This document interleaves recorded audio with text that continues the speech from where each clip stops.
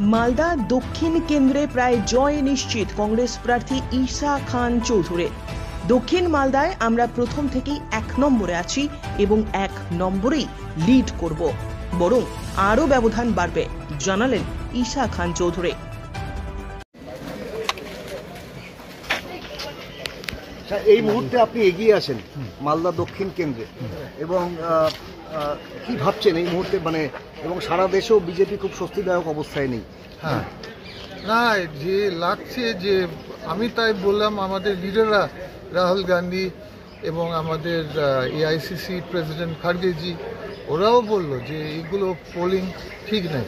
মানে হয়তো paid channel অনেক হয়ে গেছে দেশে, তো যে রেজাল্ট আমরা দেখছি খুব মানে কাছাকাছি হয়ে যাচ্ছে। মানে এখন মাঝে মাঝে বিজেপি না, এনডিএ, বিজেপি ছেড়ে দেন। এনডিএ দুশো সত্তর হয়তো পৌঁছাতে পারবে না, মাঝে মাঝে মানে যে ভ্যারি করছে সারাদিন।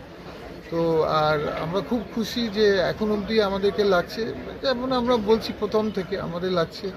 আমাদের মালদাতে আমরা এক নম্বরে আসব, সাউথ মালদাতে আমাদের এক নম্বরে চলছে। যেভাবে আমরা বিভিন্ন কাউন্টিং রুম থেকে খবর পাচ্ছি আমাদের লিড আরও বাড়বে। কিছুদিনের ওয়েস্ট বেঙ্গলে তৃণমূলের বিরুদ্ধে আপনারা লড়েছেন যদিও ইন্ডিয়া জোটে তৃণমূল আছে কিন্তু পশ্চিমবঙ্গে তৃণমূল সুইপ করেছে। এবং সেখানটায় আপনাদের পিসিসি প্রেসিডেন্ট মিস্টার চৌধুরী তিনিও পিছিয়ে আছেন। কীভাবে দেখছেন? দেখুন অধীরবাবু হচ্ছে একটা আমাদের লড়াইকো লিডার তো আমার মনে হয় কাউন্টিংটা শেষ হয়েছে কি এমন হতে পারে যে উনি আমার আশা আছে উনি জিতবেন শেষে। মানে ফুল কাউন্টিং তো হয়নি আরও অনেক রাউন্ড বাকি আছে। তো উনি একটা সব ওয়েল নোন লিডার সবাই চিনো ওনাকে। আমার মনে হয় উনি শেষে উনি হিসাবে আপনার বাবা যে ভোটে জিতেছিল উনিশ সালে এব- এবার কি মার্জিন হ্যাঁ হ্যাঁ আমাদের আশা আছে যে মানুষের দু আশীর্বাদ যেভাবে পাচ্ছি আমাদের মার্জিন ওর থেকে ভালো একটা প্রশ্ন সেটা হচ্ছে আপনাদের ভারত জোড়ো যাত্রায় রাহুল গান্ধী দীর্ঘদিন পশ্চিমবঙ্গে সময় দিয়েছেন। প্রধানমন্ত্রী এবং অমিত শাহ তারা পর্যন্ত পশ্চিম